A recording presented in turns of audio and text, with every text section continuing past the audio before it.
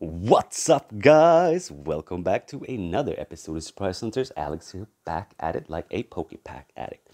And today we are opening door number eight, right? It's door number eight today, so it's crazy. Time's just flying by. And that one was an easy spot. It was right down there because I always start looking at the bottom. I don't know why. Uh, boom. Oh, we got a chocolate car. An ice cream truck because it looks like kind of an ice cream on top. I don't know. And oh, we got Sylveon. Sylveon, Sylveon.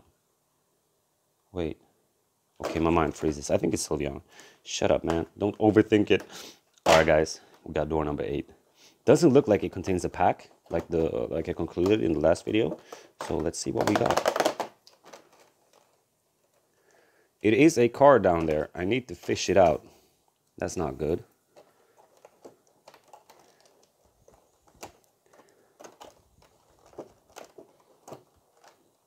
I'm so scared I might damage the card. Like I did with the last one. Okay, cool, cool, cool, cool, cool. Yeah, Delibird is whole. Nice. Nice, nice, nice, nice, nice. Has a little bit of warp on it, but that happens.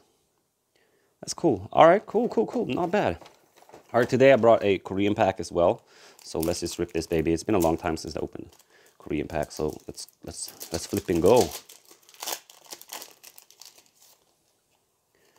Got this art, awesome advertisement art thingy.